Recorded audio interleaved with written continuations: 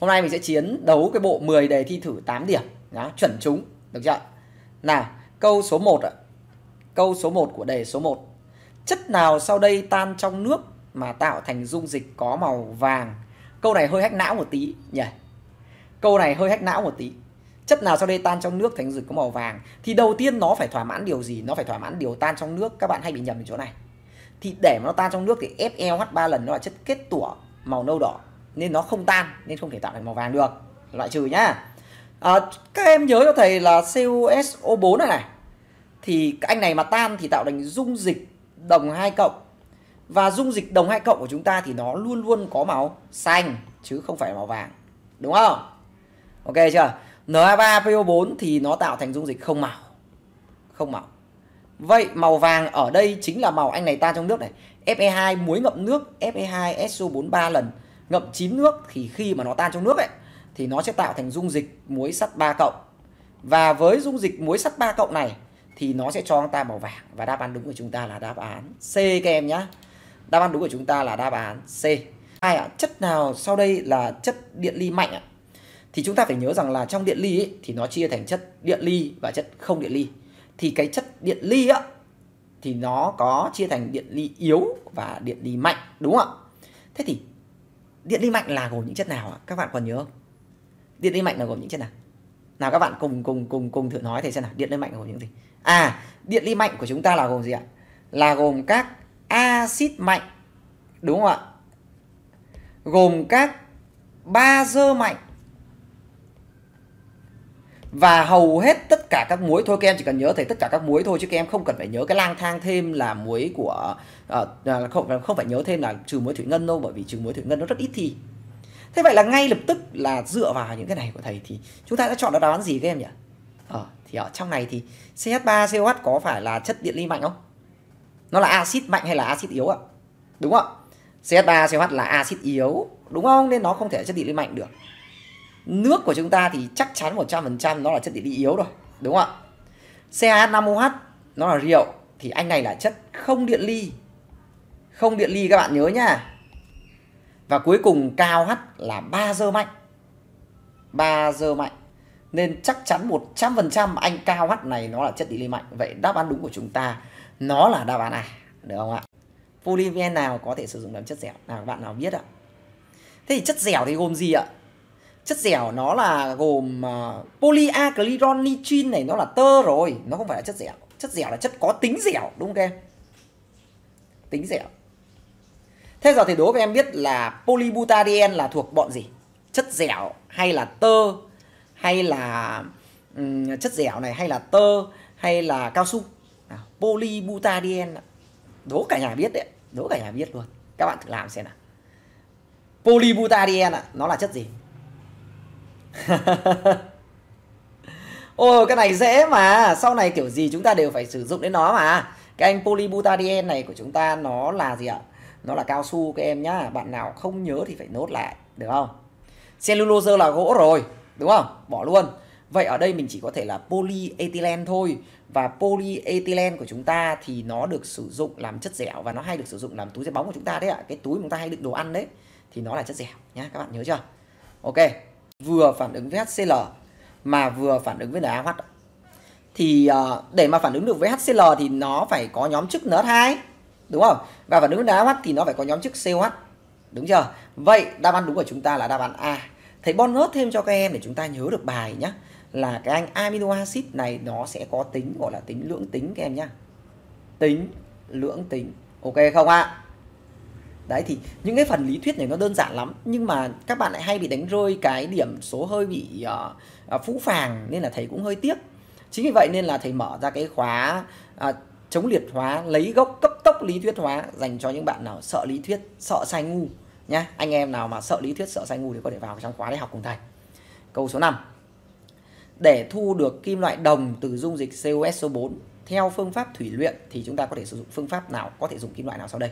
Thì chúng ta phải lưu ý là đây là một phương trình để điều chế anh đồng nhé điều chế anh đồng từ CuS4 thế phương pháp thủy luyện là gì ạ? Các bạn còn nhớ phương pháp thủy luyện là gì ạ? Bao nhiêu bạn đang theo dõi buổi học ngày hôm nay, nhớ được phương pháp thủy luyện là gì? Đấy, đây là về vấn đề lý thuyết đấy các em ạ. Thế thì thủy là nước, luyện là điều chế, đúng không vậy là điều chế kim loại ở trong nước. Thế thì cái phương pháp thủy luyện này, cái nguyên tắc của nó là sử dụng cái anh kim loại mạnh. Được không ạ? Đẩy cái anh kim loại yếu ra khỏi dung dịch muối của nó. Ra khỏi dung dịch muối của nó. Ok chưa? Ok chưa? Đấy. Kim loại mạnh đẩy kim yếu ra khỏi, kim loại mạnh đẩy kim loại yếu ra khỏi muối của nó. Vậy ở đây này natri mạnh hơn đồng, canxi mạnh hơn đồng, kẽm mạnh hơn đồng, bạc yếu hơn đồng. Vậy tại sao các bạn lại chọn là đáp án C mà không phải là đáp án A và đáp án B ạ? Nào, tại sao các bạn lại chọn là đáp án đúng là đáp án C mà không phải đáp án A và đáp án B? Mà nhiều bạn bị nhầm chỗ này lắm nhá. Thế thì ở tiện tây thì thầy cũng trả lời dành cho các em luôn. Là gì ạ? Là gì? Tại sao ạ? Tại vì anh natri tác dụng với nước cho vào trong dung dịch này nó tác dụng với dung dịch COS4 mất là toa anh canxi để nó tác dụng với nước được chưa? Vậy ở đây là gì? Chỉ có kẽm mà thôi. Các bạn nhớ nhá các bạn nhớ chưa? Ok. Rõ ràng là phản ứng giữa methanol. Thế thì những cái bạn nào học lớp 11 mà đang theo dõi buổi học hôm nay phải chú ý này. Nếu các bạn không nắm được tên của ancol và không nắm được tên của axit thì chắc chắn các bạn không thể học khủng chương trình lớp 12 được. Đúng không ạ? Methanol là CH3OH, được không? Mình phải nhớ tên. Acid acetic là CH3COOH, được chưa? Thế bây giờ phản ứng giữa hai này tác dụng với nhau trong môi trường của axit sulfuric thì mình sẽ thu được anh CH3COOCH3 cộng với H2O đúng không ạ? Vậy este này của chúng ta là CH3COOCH3. Vậy đáp án đúng của chúng ta nó chỉ có thể là đáp án B bỏ. Đúng không ạ? Và những bạn nào mà lớp 11 xuất phát sớm thì các bạn ấy hoàn toàn có thể làm được câu này rồi. Đúng chưa? Thế nhưng mà rất tiếc là có nhiều bạn lớp 12 bây giờ làm câu này vẫn bị sai. Không phải là vì các bạn không biết, vì các bạn đã làm nhanh quá nên nhầm rất là tiếc đừng đánh rơi điểm ngu, đấy là cái câu mà thầy muốn nhắc lại cho các bạn nhé câu số 7 ạ kim loại mờ kim loại mờ tác dụng được với axit HCl thế thì trong đầu ta phải chạy được là những cái kim loại nào tác dụng được axit HCl thế trong đầu mình phải chạy được như thế các em nhé. Chính cái tư duy làm cho chúng ta khác biệt. Oxit của nó lại bị khử bởi CO thế vậy thì những cái oxit nào bị khử bởi CO ạ? Các bạn có nhớ không? Những oxit nào bị khử bởi, oxit, bởi CO thế hợp chung hai cái điều kiện đấy thì mình sẽ tìm được kim loại mở được không? Thế vậy bây giờ chúng ta nhắc lại lý thuyết một tí nhỉ kim loại mờ tác dụng được với axit HCl vậy điều này chứng tỏ m phải đứng trước hydro. Đã tương đương với m ờ, phải đứng trước hero trong dãy điện hóa đúng không ạ? Thế thì anh em m nó đứng trước được hero trong dãy điện hóa thì những anh nào đứng trước hero trong dãy điện hóa thì chúng ta phải thuộc được cái dãy điện hóa nhỉ dãy điện hóa là gì ạ? Khi nào ba cần mua áo, đúng, thầy ghi ra đây nhé. Khi nào ba cần mua áo, giáp, sắt, nên sang phố. Hỏi đấy vậy là những thằng nào đứng sau này là toang này? Bạc chắc chắn đứng sau nên không thể tác dụng HCl. Bỏ luôn. Ok chưa? Tiếp theo ạ, oxit của nó bị khử bởi CO thì oxit mà bị khử bởi CO ấy thì nó tương đương với việc là oxit của kim loại này nó phải đứng sau anh gì ạ? Sau anh nhôm, chính xác luôn. Nào vậy đứng sau nhôm thì là gồm những anh nào ạ? Đây, sau nhôm đấy, Kẽm, sắt, niken, thiếc, chỉ. Đứng trước hiro và đứng sau nhôm. Vậy trong này mình chỉ thỏa mãn mỗi anh nào thôi? chỉ thỏa mãn mỗi anh sắt mà thôi anh magie đứng trước nhôm anh canxi đứng trước nhôm thì oxit của nó không thể nào mà tác dụng được với CO được đấy thì ở đây tiện thể thầy vừa dạy thầy vừa nhắc lại những cái lý thuyết chú ý nho nhỏ dành cho tất cả các bạn. Thế còn lại về việc mà chúng ta làm hệ thống lý thuyết thì bạn nào mà à, muốn được thầy hệ thống lại lý thuyết và nhận được thật thật nhiều phần quà của thầy thì có thể đăng ký cái khóa à, chống ngu lý thuyết được không ạ? Chống sai ngu lý thuyết của thầy. Bạn nào muốn tìm hiểu về khóa học đó thì có thể là vui lòng inbox cho fanpage nhé có rất nhiều phần quà đặc biệt dành tặng cho tất cả các bạn và các em. Câu số 8 ạ chất nào sau đây dễ tan trong nước ở điều kiện thường, tạo thành dung dịch có môi trường kiềm thực ra những câu này nó rất là dễ nhá, đúng không? Trong lúc mà chúng ta mà gọi là thông thái, chúng ta mà thoải mái, thì những cái câu này mình làm rất là ngon lành. Thế nhưng thế nhưng mà chúng ta đặt vào trong cái trường hợp chúng ta ngồi phòng thi, thì liệu chúng ta còn làm đúng không?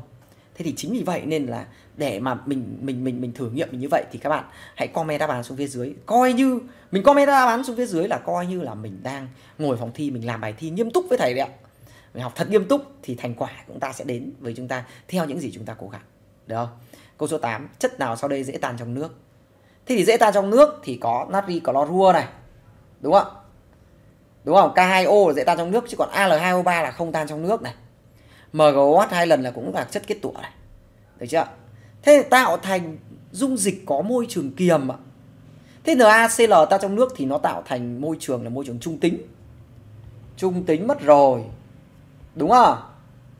Vậy thì để tạo thành môi trường kiềm thì chỉ có K2O tác dụng với nước thì nó tạo thành là KOH đúng chưa? Đúng môi trường kiềm chưa? Đáp án đúng của chúng ta nó là đáp án B. Bỏ các bạn nhớ chưa? Rất rất dễ ạ rất rất dễ nhá. Những cái chuỗi lý thuyết này các bạn cần phải chú ý phải làm được chính xác đúng những câu dễ để mình không bao giờ bị sai. Được chưa? Mình làm đến đâu mình ăn chắc đến đấy. 8 điểm thôi là mình cũng đã xịn rồi. 8 điểm thôi là cũng đã thắng được vô hối các bạn rồi. Các bạn cứ bị ờ, sai những câu dễ dễ cơ. Thế là toan nhỉ mình sang câu tiếp nhé câu số 9 câu số 9 là anh phenol này này là chúng ta học ở hồi là hồi lớp 11 nhá. Uh, câu số 9 phenol. Thế thì phenol này là ở phần kiến thức lớp 11 nhá. Nó vào ở phần cuối lớp 11 học sau bài ăn côn nên là nhiều bạn hay bị nhầm ở phần phenol lắm. Thế thì, thầy nhắc lại một tí phenol. Phenol chúng ta là nó sẽ có tính axit yếu này. Nó có tính axit yếu. Và bởi vì nó có tính axit yếu nên chắc chắn nó sẽ tác dụng được với natri. Chắc chắn nó tác dụng với NaOH được không? Tác dụng natri để sinh ra hydro và tác dụng với NaOH để sinh ra nước phenol tác dụng với brom để tạo thành kết tủa màu trắng. Đúng không? Đấy là những cái chắc chắn mình làm được. Vậy thì không phản ứng được với NaHCO3 đáp án đúng của chúng ta nó là đáp án C. Không phản ứng được với NaHCO3 ok nhá. Rồi, dễ chưa? Dễ không? Là các bạn thấy cái buổi à, live ngày hôm nay với đống đề này có hay không ạ? Chúng ta có 40 câu luyện để chống ngu lý thuyết như thế này. Trong tất cả các kim loại Wolfram là kim loại gì? Trong tất cả các kim loại thì Wolfram là kim loại gì? Có phải cứng nhất không các em? Wolfram là gì? Có phải nhiệt độ nóng chảy thấp nhất không? Hay nhiệt độ nóng chảy cao nhất? Hay là dẫn điện tốt nhất? Thế thì bây giờ chúng ta tư duy này nhé. Wolfram chúng ta hay nhìn thấy ở đâu? Thì Wolfram ấy thì nó hay được xuất hiện ở bên trong là cái uh, sợi đốt của bóng đèn, bóng đèn sợi đốt. Nó nó ở bên trong dây dây tóc của bóng đèn sợi đốt chứ không phải phóng bóng đèn huỳnh quang nhá. Bóng đèn sợi đốt nó có cái cái sợi sợi sợi xong nó đun nóng cái sợi đấy lên thì nó phát sáng đấy như mặt trời ạ. Thế thì để mà nó đến cái độ nóng mà nó phát sáng như mặt trời ấy, thì nếu nó mà nhiệt độ nóng chảy thấp nhất thì nó chảy mất à? Có phát sáng được không? Không. Đúng không? Đúng không vậy ở đây nó phải là gì ạ? Nhiệt độ nóng chảy cao nhất các bạn nhé. Đấy đáp án đúng của chúng ta nó phải là nhiệt độ nóng chảy cao nhất. Được chưa? Đấy các bạn thấy chất nào sau đây được điều chế bằng cách cho axit sulfuric đặc tác dụng với quặng apatit. Ôi. Quặng apatit là gì anh em nào còn nhớ không? Quặng apatit là gì ạ? Đấy, cái việc mà làm được câu này hay không nó quyết định vào việc mình có nhớ được quặng hay không. Axit sulfuric đặc thì bố nào chả biết. Đúng không? Nhưng mà quặng apatit là căng nhỉ. Yeah. Quặng apatit là gì? Thầy mình gợi ý nha. Ca3 PO4 tất cả hai lần. Thế vậy bây giờ cho hai này tác dụng với nhau thì chắc chắn chúng ta sẽ thu được H3 PO4 cộng với lại Ca SO4. Thầy không cân bằng nhé. Và ở đây mình sẽ thu được H3P4. Vậy là điều chế axit gì ạ? Điều chế axit phosphoric nhá, H3P4 tên của nó là axit phosphoric. Các bạn nhớ chưa? Các bạn nhớ chưa? Nhớ kỹ vào nhá. Ghi lại nhá. Cùng với hai thì chưa hỏi mà các bạn đã, đã comment ở mầm rồi này. Khi đun nóng hỗn hợp sắt với bột lưu huỳnh thì sinh ra muối có công thức là. Khi đun nóng hỗn hợp bột sắt ạ. Bột sắt. Với bột lưu huỳnh ạ thì sinh ra muối công thức gì? Các bạn có nhớ không ạ? Tạo thành muối gì ạ? Nhớ được câu này là cũng thành công đây này bởi vì nhiều bạn bị nhầm câu này lắm nhá. Rất nhiều bạn bị nhầm đáp án B các em ạ. À. thật mà, thì nói này, những bạn nào chột dạ comment xuống xem đúng không? Có đúng là em bị nhầm không? Những bạn nào bị nhầm comment xuống xem đúng không? Nhiều. Thầy dự đoán là câu này nhiều, bởi vì ờ, ngày xưa thì đi dạy nhiều bạn bị sai lắm. Mà thực tế ra là nếu mà nung sắt với lưu huỳnh thì mình sẽ phải thu được gì cơ? FES các em nhá.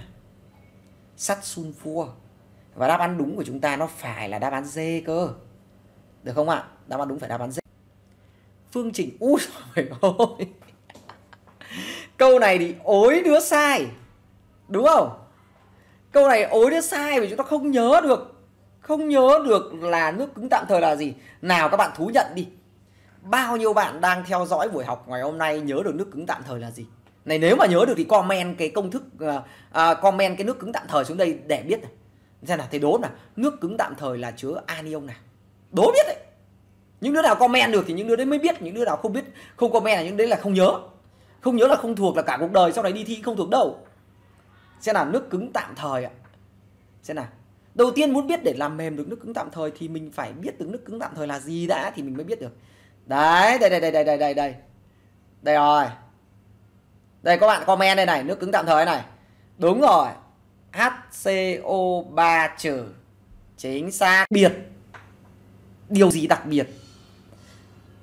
Ở anh ion HCO3 trừ này. Đấy, mà để được gọi là nước cứng tạm thời. Thì cái tên nước cứng tạm thời ấy, nó đặc biệt là bởi vì khi mình đun nóng nhẹ lên là nó mất tính cứng, nhá. Nước cứng tạm thời nó đặc biệt là bởi vì khi chúng ta đun nóng nhẹ lên thì nó mất tính cứng. Có nghĩa, đây này, anh CaHCO3 hai lần này, đun nóng nhẹ lên thì nó tạo thành CaCO3 kết tủa CO2 bay lên, vậy là nó mất tính cứng. Thấy chưa? Vậy phương trình mà giải thích được cái cách làm mềm nước cứng tạm thời, ở đây nó là đáp án C. Đấy chưa? Anh em thấy hay không? Nào, đấy. 14 thì lại dễ quá nhỉ? Cho CaCO3 vào dung dịch HCl thì thấy có khí X thoát ra. Khí X là thế thì cái câu này mình chỉ cần viết được phương trình thôi, đúng không? Này, thế mà ối đứa vẫn làm sai câu này. Thật. Nó làm sai câu này không phải vì nó ngu, mà nó làm sai câu này bởi vì nó khoanh nó nó chọn được đúng CO2 rồi. Nhưng nó lại tô lệch sang đáp án B. Thế mới nhục không chứ ai chẳng biết xe CO3 cũng HCl để tạo thành CO2 các bạn nào không biết không? Bạn nào không biết comment xem nào. Đúng không? Đây này gì các bạn? Kim loại sắt tác dụng được với lượng dư dung dịch chất nào sau đây để sinh ra kim loại? Kim loại sắt nhá, tác dụng với lượng dư chú ý là chất đấy phải dư mà yêu cầu phải sinh ra kim loại. Sắt mà tác dụng HN3 đặc nóng là không bao giờ sinh ra kim loại được.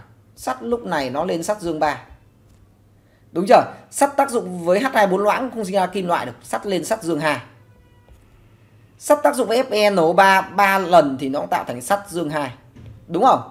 Vậy ở đây đáp án đúng của chúng ta, nó chỉ có thể là đáp án B mà thôi. Thế viết phương trình các bạn cùng theo dõi nhé. Sắt tác dụng với ag NO3 ấy, thì nó sẽ tạo thành đầu tiên nó tạo thành FeNO3 hai lần trước cộng với lại bạc được chưa? Do đề bài nó là lượng dư AgNO3 dư nên sắt dương 2 tạo ra được chưa? Nhiều bạn quên phương trình này. Cộng tiếp với à sorry ạ là lượng dư AgNO3 thế này thế này là dư rồi hết rồi. Bao giờ sắt dư thì mới xảy ra phản ứng số 2 sorry tí thì nhầm. Sorry my baby ok. Kim loại nào sau đây thuộc nhóm 2A trong bảng tuần hoàn cháu nào mà theo dõi cái kênh uh, tiktok uh, anh Minh Kemit thì cháu đấy chắc chắn làm được câu này. Còn cháu nào mà không làm câu này là về phải follow ngay cái kênh tiktok anh Minh Kemit thì mới làm được. Bởi vì anh Minh nhận kem mít ấy anh ấy chuyên bán kem và ăn mít. Thì anh có nói rằng là thuộc nhóm 2A thì phải là bé mang cây súng, bắn, ruồi là những kim loại thuộc nhóm 2A được chưa? Nhớ cái này là thắng mà. Vậy là gì ạ? Ác gông là không nhá. Kẽm là không nhá. Nhôm là không nhá. Mà nó phải là gì ạ? Berry bé mang cây súng, bắn, ruồi. Các bạn nhớ chưa? Nhớ kỹ vào được chưa? Câu 16 rất hay. Nha đấy, bạn nào mà chưa follow anh Minh Kemit về follow luôn đi, kênh tiktok, anh Minh Kemit ok, câu 10 ố câu 17 mất rồi. Sao tự nhiên 16 nhảy ra 18 nhỉ? Chết mắt, chắc mắt thầy lú đấy. Mắt thầy lú đánh số nhầm đấy. Anh em thông cảm nhá, thông cảm. Soạn nhiều đề quá. Câu 18 này, saccharose là disaccharide có nhiều trong mật mía. Saccharose là disaccharide mà có nhiều trong mật mía ờ à, có nhiều trong mật mía hay còn được gọi là đường mía thế vậy thì công thức phân tử của saccharose là C12H22O11 nó là đường mía mà. Ai chả biết đúng không ạ? Thế mà ối đứa vẫn xài. Sau đây đúng với chất béo ạ. Nào đúng với chất béo nhá. Đề bài yêu cầu chúng ta là phải đúng với chất béo. Chỉ ở trạng thái rắn trong điều kiện thường. Ui đây trạng thái rắn là cái này. Mỡ mỡ rắn. Thế nhưng mà dầu. Dầu là lỏng đúng không? Vậy nó không phải là chỉ đúng không? Dầu là lỏng mà không phải là chỉ. Có thành phần nguyên tố là CHO tan tốt trong nước. Ui thầy chất béo mà tan tốt trong nước ấy, thì thầy minh không phải đi tập giảm béo đâu.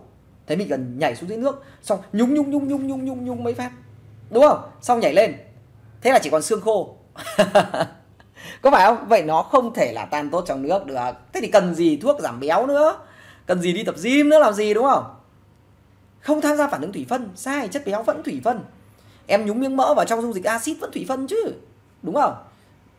Vậy ở đây là gì ạ? Đặc điểm đúng với chất béo là gì? Có thành phần nguyên tố là C, H và O. Các bạn nhớ nhá. Câu 19 ạ đáp án đúng chúng ta phải là đáp án B. Có thành phần nguyên tố là C, H và O. Nào các bạn còn nhớ thành phần chính của hỗn hợp tép mít đọc này sợ nhỉ?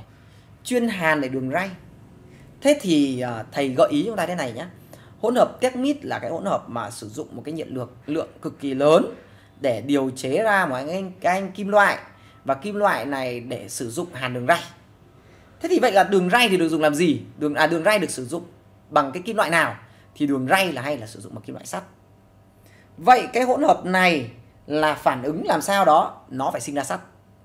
Đúng không? Thế thì không thể là anh nhôm và anh Al2O3 được tại vì hai này không có phản ứng với nhau. Mà không sinh ra sắt đúng chưa? Không thể anh Al2O3 và anh sắt được bởi vì hai này không phản ứng với nhau. Được chưa? Al2O3 và Fa3O4 cũng không phản ứng với nhau. Vậy ở đây mình chỉ có thể là hỗn hợp gồm nhôm và Fe2O3 phản ứng này xảy ra với nhiệt lượng cao tạo thành Al2O3 cộng với lại sắt các bạn nhớ chưa? Đấy, thì đây chính là hỗn hợp techmit chuyên để sử dụng hàn đường ray xe lửa. Và hàn đường ray xe lửa thì người ta sử dụng bằng phản ứng gọi là phản ứng nhiệt nhôm. Các bạn nhớ phản ứng nhiệt nhôm, bạn nào không nhớ thì nốt lại nhá. Đây là hỗn hợp temit ok, nam 8O2 nhá, được tạo bởi từ một axit Y và một ancol Z. Vậy Y không thể là, có nghĩa là axit này không thể là thằng axit nào. Thế giả sử axit này là C3H5COH đi. Thì este nó sẽ là C3H5COO này C5H8 vậy là 5 này trừ đi 3 này, thì còn là trừ đi 3 trừ đi màu 4 trừ đi 1 thì còn C. 8 trừ đi 5 thì còn H3 thằng này được nhỉ? Thằng này được. Đúng chưa? Thế anh CH3COH xem nào. CH3COO C5 trừ đi 2 thì còn là C3H8 trừ đi 3 bằng H5 vẫn được, vẫn thỏa mãn được. C2H5COO CH5CO thì chỗ này là 5 trừ đi 3 thì còn C2H3 CH3 thì nó là chính là anh này này. C2H5 COO CH nối đôi CH2 các em nhìn thấy không ạ? Anh này thì được tạo bởi từ một axit nhưng không thể được tạo bởi từ một ancol bởi vì anh ancol này không tồn tại. Được chưa? Đấy, chỗ này là các bạn hay bị nhầm, hay bị toang ở đây, đúng không? Vậy ở đây y không thể là đáp án c. Hiểu chưa? Không thể là c, nhá không thể yêu. Không thể yêu c được. Các bạn đừng học hóa ra công thức nhé học hóa ra công thức khổ lắm mà nhục nữa. Hòa tan hoàn toàn m gam hỗn hợp gồm Fe2O3 và CuO bởi CO dư ở nhiệt độ cao thì thu được CO2 số mol là 8,96 mà chia 2,4 thì bằng 0,4 mol. Và chất rắn là 17,6 gam. Được không ạ? Đề bài hỏi giá trị của M thì có phải mình sẽ có M chính bằng khối lượng của chất rắn cộng với lại khối lượng của oxy trong oxit phản ứng đúng không? Khối lượng chất rắn biết rồi bằng 17,6. Khối lượng của oxy trong oxit thì bằng 16 lần N oxy trong oxit. Vậy mình chỉ cần tìm N oxy trong oxit thôi. Mà mình có N oxy trong oxit thì chính bằng N của CO2 bằng 0,4. Vậy suy ra mình có M bằng 17,6 cộng 16 nhân 0,4 bằng bao nhiêu các em ơi? Các bạn bấm máy tính hộ thầy được không? Đừng bắt thầy bấm máy tính. Già rồi bắt bố ông già bấm máy tính buồn lắm. 0,4 bằng bao nhiêu ạ? 24 đúng không các em? 24 vậy đáp án đúng của chúng ta là đáp án D. Đấy, mình chỉ cần làm thực ra nhé để được điểm cao hóa nó không quá khó đâu chúng ta chỉ cần làm đúng những cái câu mà dễ thôi. Là mình đã ăn được chắc 8 điểm rồi. Và 8 điểm nó đã là một cái điểm cực kỳ gọi là hạnh phúc rồi.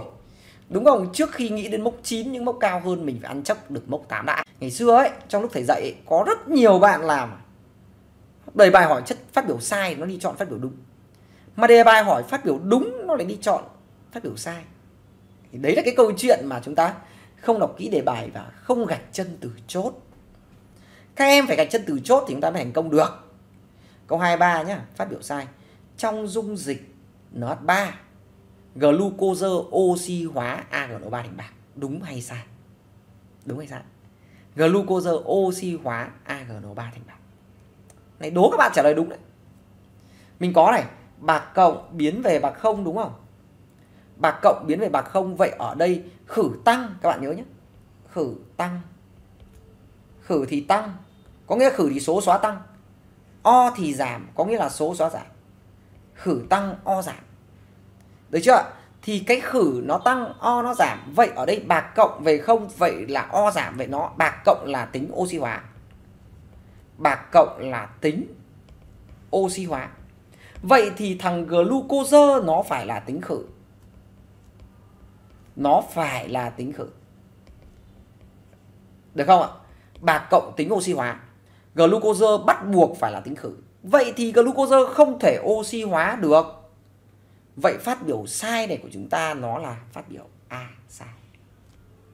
Còn b nhé dung dịch glucose hòa tan được COH là là đúng nhá các em nhá.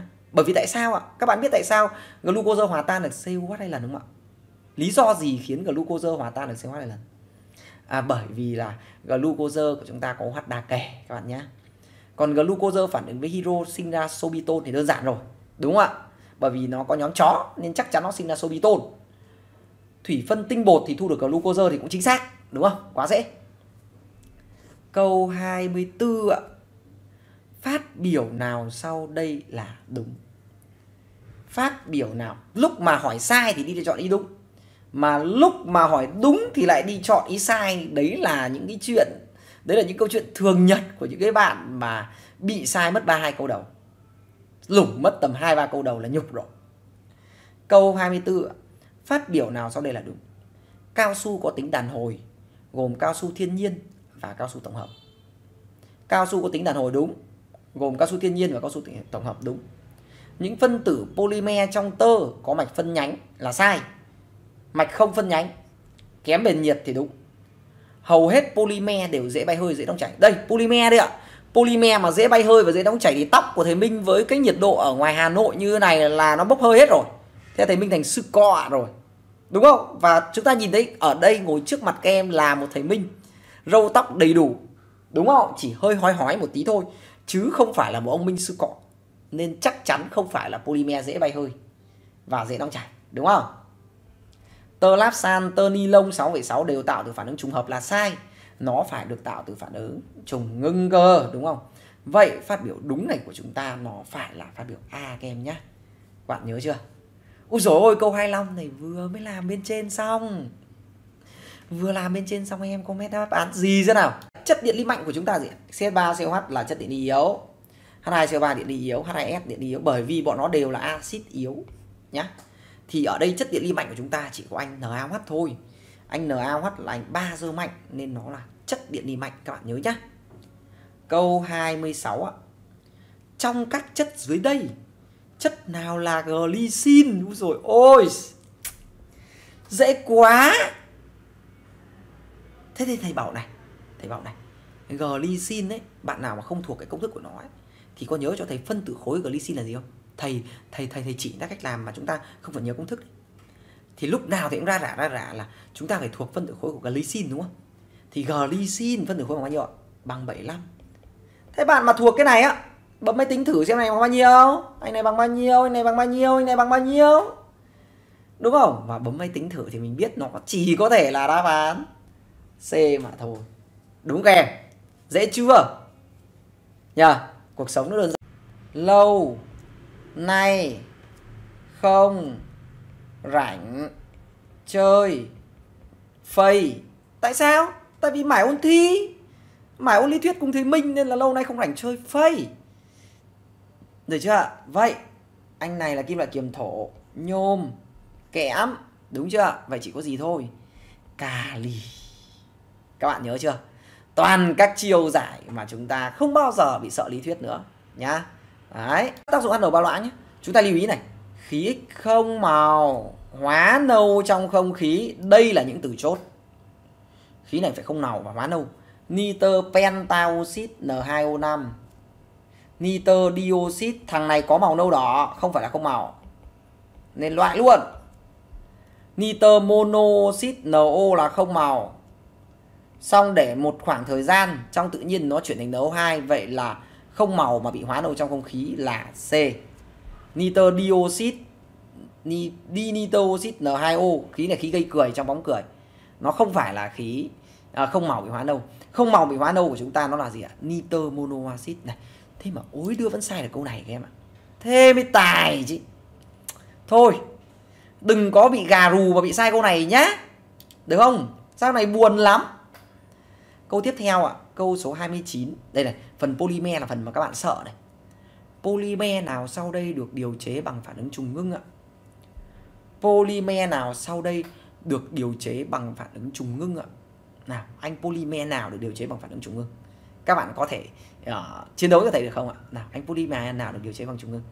Thì để được điều chế bằng phản ứng trùng ngưng ấy nhé để được điều chế bằng phản ứng trùng ngưng thì polyethylene là trùng hợp styrene là trùng hợp. Tại vì đây polyethylene là đi ethylene đi từ uh, monomer là ethylene thì đúng trùng hợp chưa? Styren là đi từ monomer. Đây. Cũng như này là nhìn thấy trùng hợp chưa? Vinin chlorua là đi từ monomer là vinin chlorua. Đây, trùng hợp chưa? Vậy ở đây chỉ có anh B. Hexamethylene adipamid là trùng ngưng, bởi vì nó đi từ anh hexamethylene diamin hexa methylene diamin trùng ngưng cùng axit adipic được chưa? Đấy các bạn nhớ nhá. Vậy câu 29 của chúng ta polymer được điều chế bằng phản ứng trùng ngưng đáp án đúng là đáp án B bỏ. Các bạn nhớ chưa? Nhớ kỹ nhá. Phải lưu lại đấy. Không quên, polymer là phần chúng ta sợ nhất. Câu 30 nào? Nào nào câu 30 nào. 30 lại là về tơ tổng hợp này, phần chúng ta sợ này, thầy vừa mới nhắc xong này. À, câu 30 chúng ta làm theo pháp loại trừ nhá, các em mạnh mẽ lên.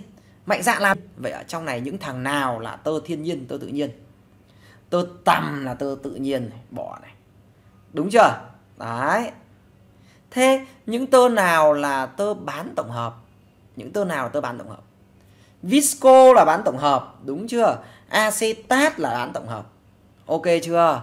Vậy ở đây số tơ tổng hợp chúng ta chỉ còn có ni lông 6,6 này cáp rông này và nitron này. Vậy mình còn mấy? Một hai ba anh ba anh là tơ tổng hợp được chưa? Vậy đáp án đúng của chúng ta nó là đáp án B bò các em nhá. B bò các em nhá. Vậy này, ở đây chúng ta nốt lại một chút. Là những cái tơ nhân tạo hay còn được gọi là tơ bán tổng hợp các bạn nhớ nhá. Nó là tơ visco và tơ acetat được không?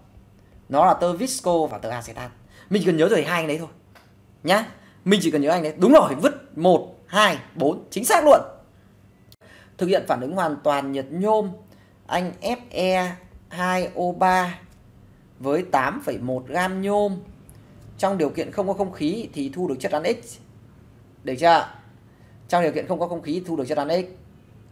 Chất rắn X này cho tác dụng với NaOH dư thì thu được hydro và số mol hydro này của chúng ta là bằng 3,36 chia 2,4 bằng 0,15 mol. Các bạn nhìn thấy chưa? Các bạn nhìn thấy chưa? Thế vậy nhá, bây giờ đề bài hỏi giá trị của M là bằng bao nhiêu? Có nghĩa là giá trị của Fe2 O3 là bằng bao nhiêu? Thế thì các bạn hay sợ câu này. Các bạn cùng xem thì thầy thầy chinh phục câu này nào nhé. Fe3 mà tác dụng với lại nhôm để tạo thành X. Vậy điều này chứng tỏ rằng là anh X chắc chắn Fe2O3 mà cộng nhôm thì nó sẽ tạo thành Fe Al2O3. Nhưng anh Fe này thì không tác dụng với NaOH dư. Anh ở Al2O3 này không tác dụng với NaOH dư mà sinh ra hydro mà nó lại chỉ tác dụng với NaOH dư mà sinh ra NaLO2 thôi. Nên cái việc mà sinh ra hydro này không phải của sắt, cũng không phải của Al2O3. Vậy nó là của thằng nào? Thì nó chỉ có thể là của thằng nhôm. Bởi vì chỉ có nhôm mới tác dụng với NaOH dư mà sinh ra hydro thôi. Vậy trong này chúng ta có nhôm dư. Được chưa ạ? Thế số mol nhôm ban đầu thì bằng bao nhiêu? Bằng 8,1, 8,1 mà chia cho 27 thì bằng 0,3 mol. Số mol nhôm ban đầu bằng 0,3 mol. Được không ạ? Do số mol nhôm ban đầu của chúng ta bằng 0,3 mol. Thế bây giờ mình tìm số mol nhôm dư được không? Được. Nhôm mà tác dụng với NaLO2 thì tạo thành Na. NaOH thì tạo thành NaLO2, nhôm là nhôm dương 3. Đúng không? Vậy mình đi bảo toàn Elec đâu? Mình có nhôm dư, nhôm không lên nhôm dương 3. 3 lần số mol nhôm dư nhé các em nhá. 3 lần số mol nhôm dư thì bằng hero từ hero dương 1 hero từ hero dương 1 về hero 0 vậy là 1 trừ 0 bằng 1 nhân 2 bằng 2 2 nhân 0,15 vậy mình tìm được số mol nhôm dư nó bằng là 0,3 chia 3 bằng 0,1 được chưa số mol nhôm dư bằng 0,1 Thế bây giờ câu chuyện chúng ta nó quay trở lại rất rất đơn giản bởi chúng ta sẽ đi bảo toàn nguyên tử nguyên tố nhôm. Mình có này, nhôm của mình ban đầu chỉ nằm trong nhôm. Đúng không? Nhôm sau phản ứng nằm trong nhôm dư. Nằm trong nhôm dư. Nằm trong Al2O3. Trong Al2O3 này của chúng ta có hai nhôm.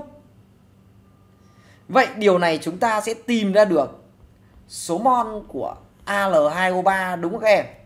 Bằng bao nhiêu ạ? 0,3 trừ 0,1 bằng 0,2. 0,2 chia cho 2 thì bằng 0,1. Vậy số mol Al2O3 chúng ta bằng 0,1. Thế sau khi mình tìm được số mol Al2O3 bằng 0,1 rồi thì câu chuyện cuối cùng của thầy trò đường tăng ghi tìm kinh đó là bảo toàn nguyên tố gì ạ? Oxy.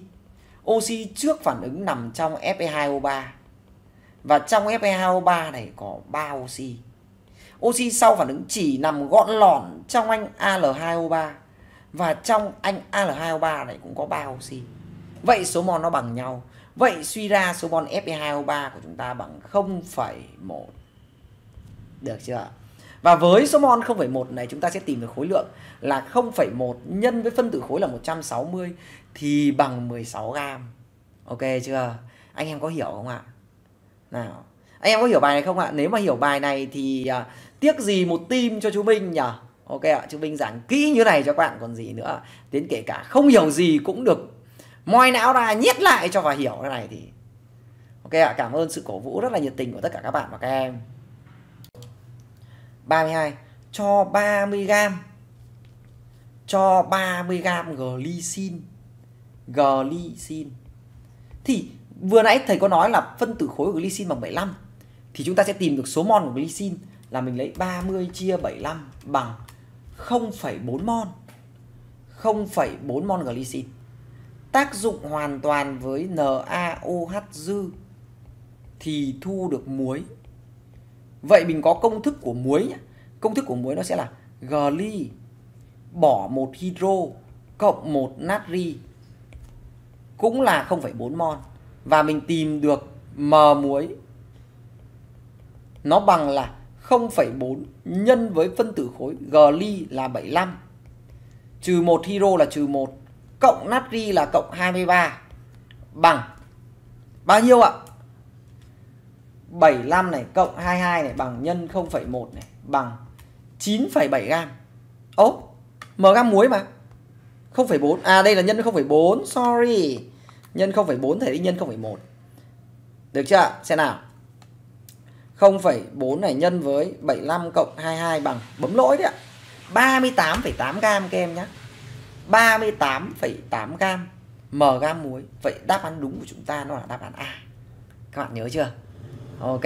Amino, axit amino acetic thì nó chính là ALA đấy ạ. 0,2 mol.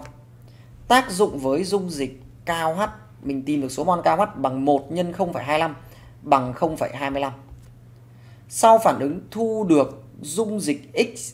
Đấy, vậy mình có dung dịch X của mình gồm ALA này có một nhóm COH thôi nên ăn một kali để nó tạo thành ALA. Bỏ đi một hydro cộng một kali đúng không ạ? Đấy, bỏ một hydro này cộng một kali này vào. Và gì ạ? Số mol ala bằng 0,2, vậy đây là 0,2. Vậy mình đi bảo toàn kali thì kali ở vế trái là 0,25 mà kali vế phải mới có 0,2 thôi. Vậy điều này chứng tỏ là còn cao H dư. K bắt dư là 0,25 trừ đi 0,2 bằng 0,05. Và hoàn toàn tới đây mình sẽ tìm được m muối. Nó bằng là 0,2 nhân với phân tử khối của ala là 89 trừ đi 1 và cộng với lại kali là 39 cộng với khối lượng của KH dư là 56 nhân với 0,05 bằng bao nhiêu ạ? Bằng bao nhiêu các bạn? 0,2 nhân mở ngoặc đơn này 89 này cộng với 38 này đóng ngoặc đơn này cộng với 56 nhân 0,05 này bằng này. Wow, 28,2. 28. Ô sao của thầy nó lại xem nào.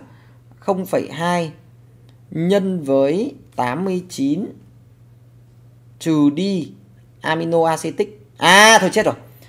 Amino acetic không phải ala, thầy bị nhầm. Đây CH2 NH2 anh này phải là gly úi dồi ôi toang. Đấy. Toang chưa? Toang chưa? Nó phải gly ạ. Gly nhá.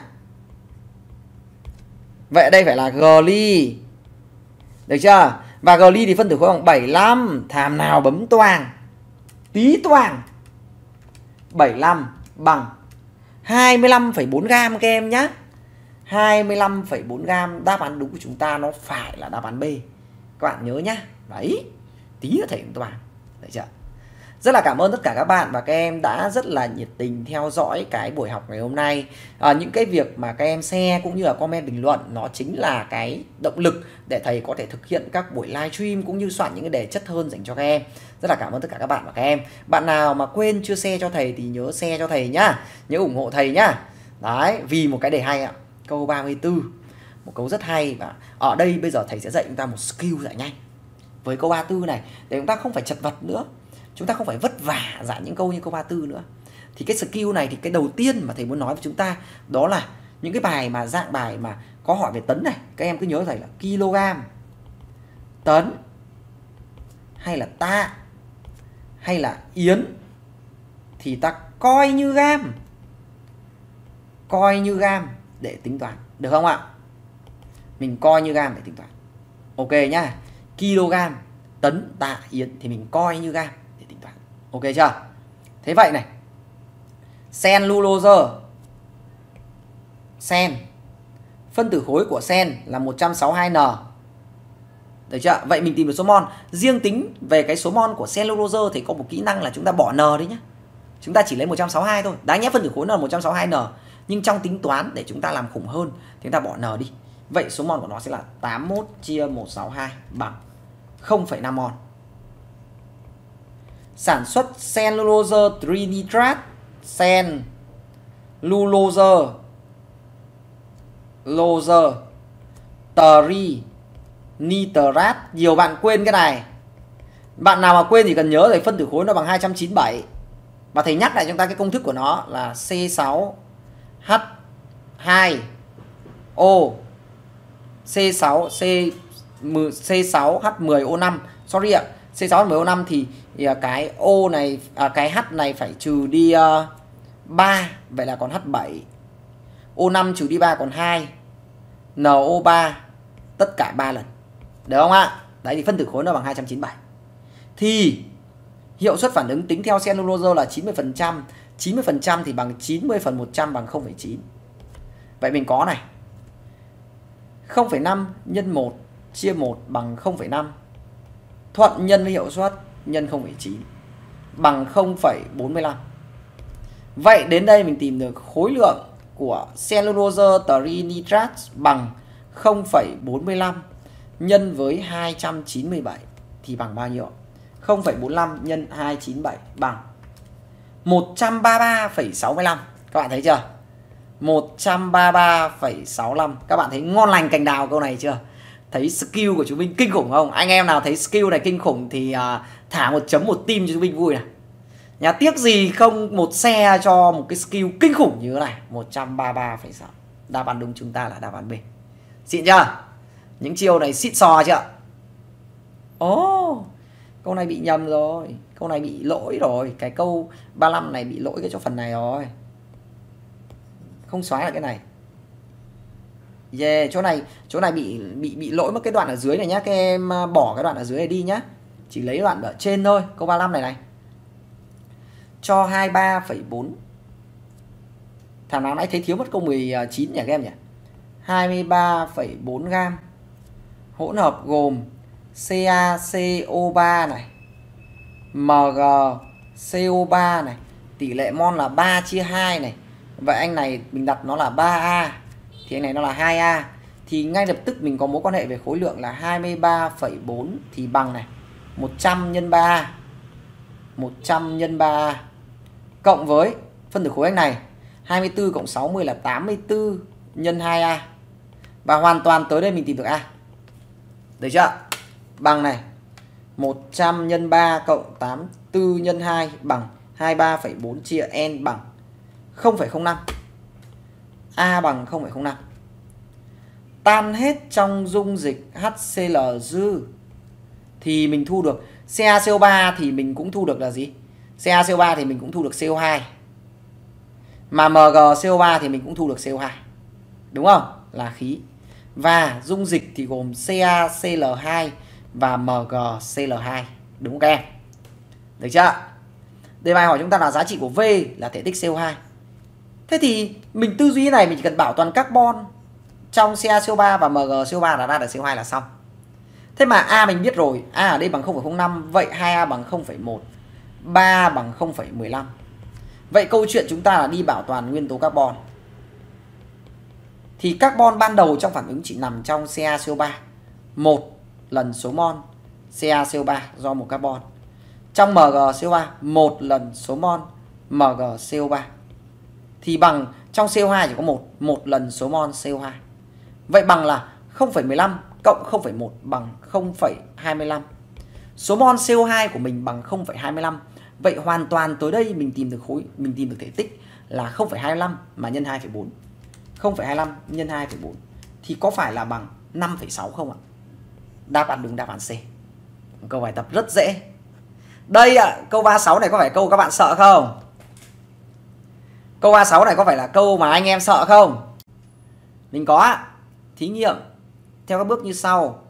Ancol isoaminic axit acetic kết tinh và khoảng 20 ml H này muốn đặt vào ống nghiệm khô và lắc đều. Chưa hiện tượng gì. Đưa ống nghiệm vào nồi nước nóng 15 phút lấy ra và làm lạnh. Thế thì ở bước 2 này chắc chắn là xảy ra phản ứng este hóa bởi vì có ancol và axit. Nhá, nên đây là phản ứng este hóa này. Chắc chắn là phải xảy ra phản ứng este hóa. Vậy cái nhận định A này, tại bước 2 xảy ra phản ứng este hóa là đúng rót thêm vào ống nghiệm 10 ml NaCl bão hòa thì dung dịch tách làm hai lớp. Tại sao lại tách làm hai lớp? Tại vì cái NaCl này vào nó sẽ làm cho tăng cái trọng lượng riêng của cái hỗn hợp gồm có axit và ancol và nước. À đâu, nó làm tăng cái nên là nó sẽ dẫn đến là gì? Nó sẽ dẫn đến nó đẩy cái bọn este nổi lên bên trên. nên tách thành hai lớp lớp hai lớp là một lớp là dung dịch gồm có nước này axit ancol phía dưới và este này nổi lên bên trên được chưa nên tách hai lớp B đúng có thể thay nước lạnh trong cốc 3 bằng dung dịch NaCl bão hòa sao lại có thể thay nước lạnh trong cốc 3 bằng dung dịch NaCl bão? Có nghĩa là có thể thay dung dịch NaCl bão hòa trong cốc 3 bằng nước lạnh. Nếu mà thêm nước lạnh vào thì không không được. À đây đây đây. Không được, đúng không không được. Ở đây, không được nên nó phải là cái này. Đây. Sau bước 3 hỗn hợp chất lỏng thu được có mùi chuối chín. Đúng rồi, bọn này tác dụng với nhau thì nó tạo thành là isoamin acetat là dầu chuối chính xác H2SO4 đặc nóng đóng vai trò là chất xúc tác và hút nước để chuyển dịch cân bằng chính xác vậy ở đây chúng ta có A B D, E 4 phát biểu đúng. Đáp án đúng đáp án C. Nhá. 4 phát biểu đúng. Ok. Là một trong số những câu mà lý thuyết là các bạn sợ đúng không? Ở điều kiện thường thì các kim loại đều có khối lượng riêng lớn hơn khối lượng riêng của nước là sai. Li ti nổi trên nước, khối lượng riêng nó nhỏ hơn. Nhá. Các bạn nhớ chưa? Sai. Vì có li ti nhỏ hơn. Nên nó nổi. Cho dung dịch BA hóa hai lần dư vào dung dịch Al2S4 thu được kết tủa, chắc chắn rồi bởi vì mình có ion Ba2 cộng và S42 trừ thì chắc chắn mình thu được kết tủa BaSO4 còn ALH 3 lần nhé thì do OH trừ dư nên nó tan, nên không có kết tủa nào các kim loại đều chỉ có một số xóa duy nhất trong hợp chất sai số xóa sắt có sắt dương 2 có sắt dương 3 sai lẻ cho khí hydro dư đi qua hỗn hợp gồm Fe2O3 và CuO đun nóng thì thu được sắt và đồng chính xác hai cái chính xác rồi cho thực vật cũng là một loại phân kali vì chứa K2CO3 chính xác. Vậy mình có 3 phát biểu đúng. Đáp án đúng, đáp án đây. Kinh chưa? Dã man chưa? Đấy. Mình phải làm được những câu này các em ạ. Thì những câu này nó phải, mình phải có một cái kiến thức tổng hợp nó nó nhiều và mình phải làm nhiều. Làm nhiều nó thành quen à. Câu 38. Cho các phát biểu sau. ớ Chắc ở đây hỏi là số phát biểu đúng là số phát biểu đúng là thầy minh chế thêm đề thủy phân tripamitin và etinacetat đều thu được ancol chính xác tripamitin và thủy phân thì mình thu được glycerol etinacetat thủy phân mình thu được ancol etilic thì cả hai thằng đều là ancol nên đúng mỡ động vật và dầu thực vật đều chứa nhiều chất béo chính xác hydro hóa triolein thu được tripamitin là sai mình thu được tristearin được chưa 4. Thủy phân vinin format thu được hai sản phẩm đều phản ứng trắng gương. Vinin format là HCOO, CH nối đôi, CH2.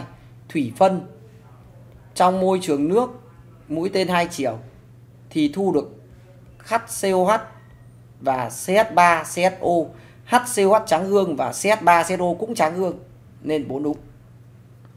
Phân tử axit glutamic có nguyên tử 5 nguyên tử carbon chính xác. Hợp chất alagly hòa tan được COH hai lần tạo phức màu tím là sai bởi vì anh này chỉ là dipeptide mà nó phải là từ tripeptide trở lên nhá. Nên sai. Mình có 1 2 3 4. 4 ạ. Thấy chưa? Nào, câu 39 à Thôi 39 anh em chọn đáp án gì thử comment xem nào. US4 ở điện cực trơ thì thu được khí oxy ở anode chính xác bởi vì anion S42 trừ không bị điện phân nên oxy thu ở anode. Cho hydro dư đi qua Fe23 và Al23 đun nóng thu được sắt là đúng rồi, nhưng không thu được nhôm, tại vì Hiro không khử được AL23. Hydro nó chỉ khử được các cái anh oxit của kim loại đứng sau nhôm thôi. Nhúng thanh sắt vào dung dịch COH4 xuất hiện ăn mòn điện hóa. Thì mình phải nhớ nha ăn mòn điện hóa nó phải thỏa mãn ba điều kiện. Điều kiện thứ nhất là hai cặp điện cực khác nhau bằng bản chất. Điều kiện thứ hai là tiếp xúc trực tiếp hoặc gián tiếp với nhau. Điều kiện thứ ba là trong môi trường dịch chất điện ly. Thì sắt vào đồng thì chắc chắn mình sẽ có cặp là sắt đồng đồng bám trên bề mặt sắt. Tiếp xúc trực tiếp trong môi trường dịch chất điện ly. Vậy chắc chắn ăn mòn điện hóa ok chưa? Kim loại dẫn điện tốt nhất là bạc chính xác. Dung dịch FeCl2 dư vào AgNO3 thu được chất rắn chỉ có AGCL CL trừ cộng bạc cộng tạo thành AGCL đúng. Nhưng các bạn quên mất một điều rằng còn có sắt 2 cộng cộng với bạc cộng. Để tạo thành sắt 3 cộng cộng bạc nên trong kết tủa còn phải có bạc nữa, vì vậy nên E sai. Vậy ở đây mình có Ac. D là đúng. Vậy không đúng chỉ có B và E. Lưu ý ở đây để bài hỏi. Không đúng nhá hỡi các con rời. Vậy không đúng đây mấy ạ? B và E vậy đáp án đúng chúng ta phải là đáp án D. Anilin không làm đổi ngọc thủy tím. Chính xác. Glucose còn được gọi là đường nho vì có nhiều trong quả nho chín. Chính xác. Chất béo là dieste sai. Trieste phân tử amylopectin có cấu trúc mạch phân nhánh. Chính xác ở nhiệt độ thường triolin là chất rắn rắn sai thằng này chất béo không no phải là chất lỏng trong mật ong chứa nhiều fructose chính xác 40%. Tinh bột là một trong những lương thực cơ bản con người chính xác. Tơ cellulose trinitrat là tơ tổng hợp, sai là tơ bán tổng hợp. Vậy số phát biểu đúng là 1 2 3 4 5. 5. Ok chưa? Xem có bao nhiêu bạn phanh liệu liệu lụi đúng. Khoanh lụi đúng hay là khoanh chuẩn đúng đấy? Rất là cảm ơn tất cả các bạn và các em đã rất là nhiệt tình theo dõi buổi học ngày hôm nay. À, các bạn chú ý đến lịch live stream của thầy là sẽ liên tục nhá, liên tục vào tối thứ ba, và đâu tối thứ tư và tối thứ bảy hàng tuần. À, hãy liên tục comment bình luận và chia sẻ những cái bài tập của thầy và không quên click vào nút chuông để nhận được thông báo mỗi khi mà thầy livestream nhá. À,